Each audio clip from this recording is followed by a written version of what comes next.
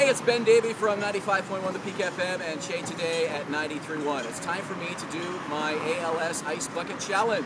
I want to thank uh, Melanie Case from John and Mel in the Mornings for nominating me.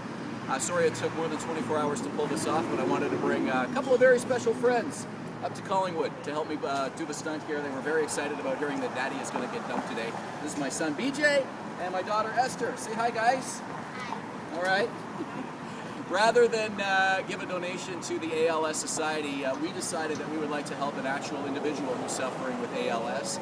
And uh, so, Peter Cameron, this is for you. Uh, Peter from Alliston is uh, suffering with ALS, and we'd like to help him uh, with the expenses of his treatment. And so, we're making a donation. I'm going to kick in 20, and they're each going to kick in $10 here to help out Dunk Daddy today. So, thank you.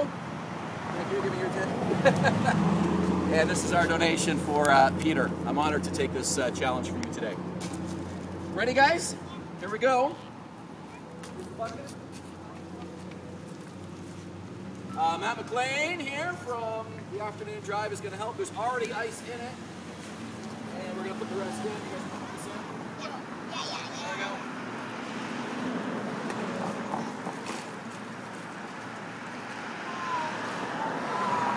Mix it around. Put your hand in there. Mix it Here we go. okay.